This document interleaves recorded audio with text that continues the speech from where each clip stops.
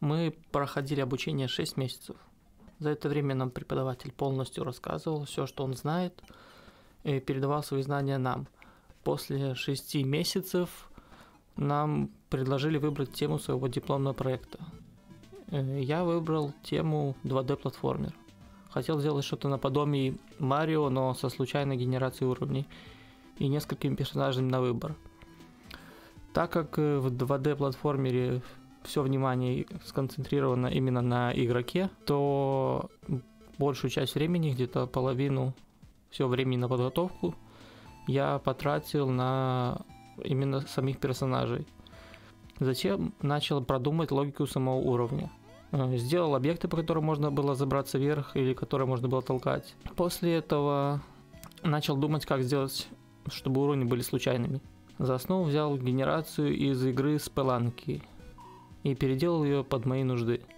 Как только мои уровни начали генерироваться, то я заметил, что они уж очень сильно пустые. Начал добавлять врагов и разбросанные по уровням предметы. Потом захотел добавить разного рода фишки.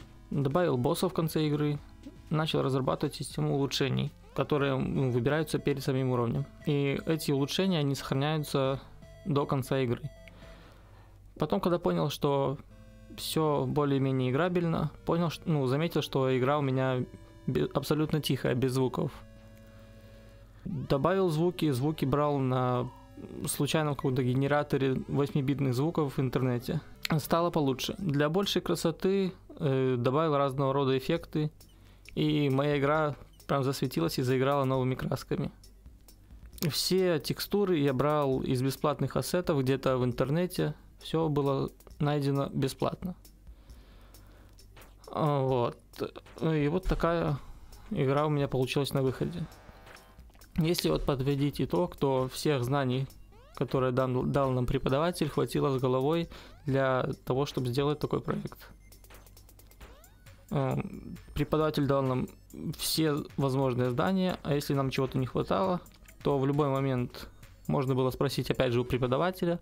Он давал, э, развернутый ответ и даже мог сбросить видео, где можно наглядно посмотреть, как это сделать. Э, Я остался на 100% доволен.